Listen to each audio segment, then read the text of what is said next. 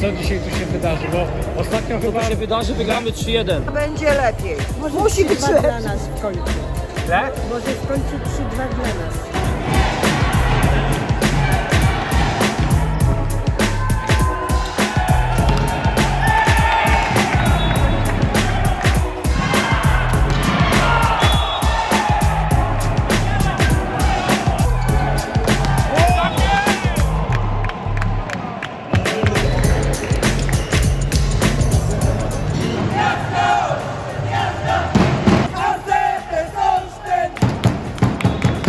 Nie powiem, że jestem przy, zadowolony, przegraliśmy ten mecz, ale jestem, jestem a, może nie w pełni, ale troszeczkę szczęśliwy z tego, co zobaczyłem na boisku. To jest naprawdę budujące i ja się bardzo cieszę z tego, że ta grupa, em, która gdzieś tam przegrywała mecze ze smutkiem, potrafi się cieszyć z tego, co robi na boisku.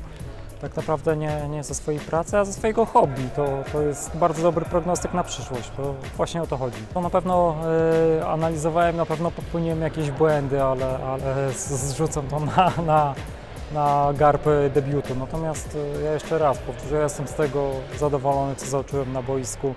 E, I dla mnie to było, nie, to, to było najważniejsze, bo tak naprawdę nie chodziło o mnie, chodziło o to, żeby chłopaki znowu się cieszyli tym, co robią.